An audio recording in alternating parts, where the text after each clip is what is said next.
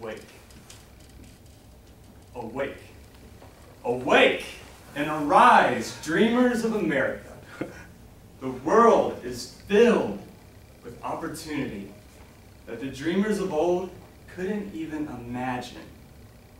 Inside of a little acorn waits a giant oak tree. Inside of an egg sleeps a bird waiting to take flight. And in the highest vision of our soul, an angel is beginning to stir. This chapter, and what ultimately the book is about, is to dream big. Dream big, guys. Sometimes when we dream, we think it's so far out there that we're never going to be able to get it. Some of the today's greatest inventions were yesterday's wildest dreams. If you, if you were around a thousand years ago and you told someone, if you looked up at the moon and you said, someday man is going there, they would say you're crazy. It's not going to happen. 50 years ago, if you said, I'm going to invent a little box that's going to allow me to talk to anyone in the world, read any book I want, and watch any show I want, you'd be laughed at. And today, if you said, I'm going to make the blind see, you probably think that person was crazy. Well, I have some news for you. In the medical field, they are taking the first steps to actually making that a reality. The point is, is to dream big. Now I want you all to do something. Think about a dream you have. Not a dream to just get through this week, but kind of your life dream. What do you really want to get? And aim high. I'm going to give you about five seconds. Go ahead and think that over. Now that you have that dream in your mind, I want you to think of all the reasons why you're not going to get there. Is it money? Time? You don't know the right people? Okay.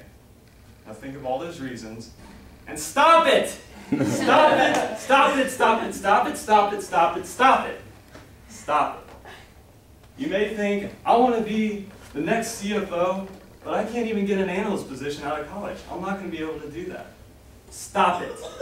I'm never going to make $100,000 a year to support my family. I can barely afford the bus to my minimum wage job. Stop it. I'm never going to have a family because who can love someone like me? Stop it. All you're doing is hurting yourself. You are the master of your destiny. You are the captain of your soul. And that really is true. Really think about that, guys. The only thing standing between you and your dreams is yourself. And I really do mean that. When we're in our lows in life, that's when we, it's hardest to realize our dreams, when we've kind of hit rock bottom.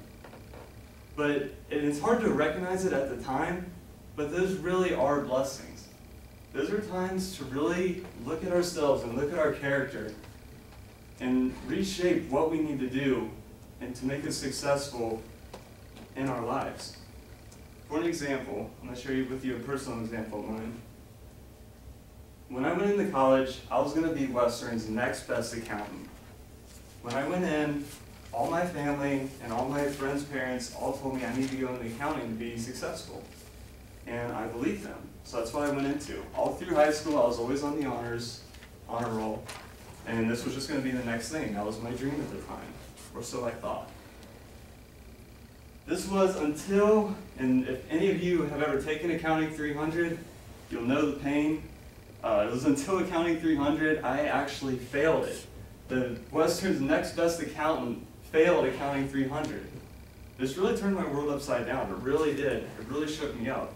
What were my parents going to think? What, were, what was everyone going to think of me? How was I going to be successful?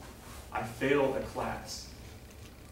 But it was during that time I sat down and I really asked myself, Nathan, what do you want to do? What makes you happy? And I found that in finance. I said, Nathan, you really like finance. This is what you should go into. Don't matter, it doesn't matter what everyone else thinks. Do what you want to do. And I've done that, and I can tell you guys, failing that accounting course was probably the best thing that happened to me in college. How ironic is that? But it's true. And I know someday my dream now is to become a CFA. And it's only a matter of time before that happens. because I'm gonna recognize each step I need to take and I'm gonna do it. So to kind of recap everything, dream big. Don't sell yourself short. This is this is a sales class. The last person you want to undersell is yourself. Don't let obstacles hinder you. Get over them and take the steps that you need to to realize your dreams. I'm going to leave you with one last thought that I'm sure all of you have heard in one shape, form, or another. And that is the world, and I think ourselves, are going to tell you a thousand reasons why you're not going to be successful. And it's up to you, and only you, to give it a thousand reasons why it's wrong. Thank you.